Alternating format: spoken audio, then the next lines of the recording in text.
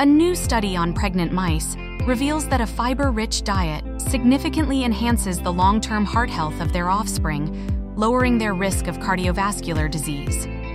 Scientists found that dietary fiber from foods like fruits, vegetables, and whole grains benefits the mother and shapes the developing child's heart.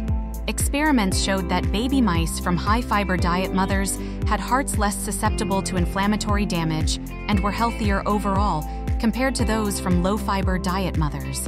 Additionally, high fiber diets improve gut health and short chain fatty acid levels, crucial for fetal heart development.